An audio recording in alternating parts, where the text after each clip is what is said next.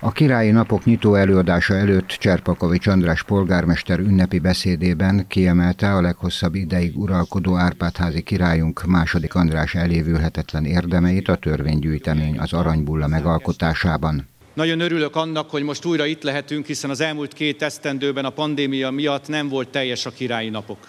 Most viszont teljes lesz, hiszen lesz néptánc, lesz szimfonikus zenekari koncert, lesz katonazenekari fesztivál, lesznek előadások, felvonulások, gyerekprogramok, lesz minden, amit megszerettünk, amit megszoktunk királyok menetével is.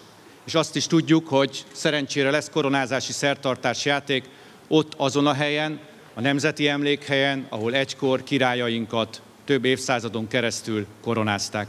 A királyi napok vendégeként Esztergom polgármester erősítette meg a két királyi város közös útját és felelősségét a múltban, a jelenben és a jövőben. Szerencsés az a nemzet, mely tud emlékezni, és erőt tud meríteni ezekből. Szent István életműve ma is hat ránk.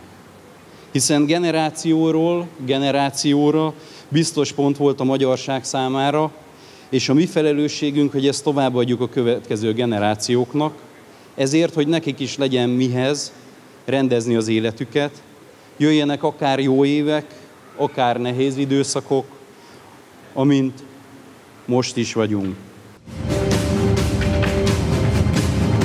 A királyi napok nyitányaként a Matúz János által írt és rendezett dramatikus történelmi játékban idézték meg második András uralkodásának fő mozzanatait, az aranybulla a magyar államiság máig ható jogtörténeti jelképe megszületésének időszakát.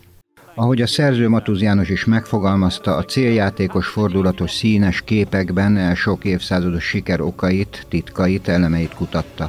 A nyitó előadás műfaja ezért is lett rege, Mesélünk majd szépen, szabatosan mondja, közös örömünkre. És ha jól végezzük dolgunkat, a pecsét végül feltöretik, és az aranybulla szövege mögé látva felfedhetjük, ami a törvény betűi mögé írva vagyon.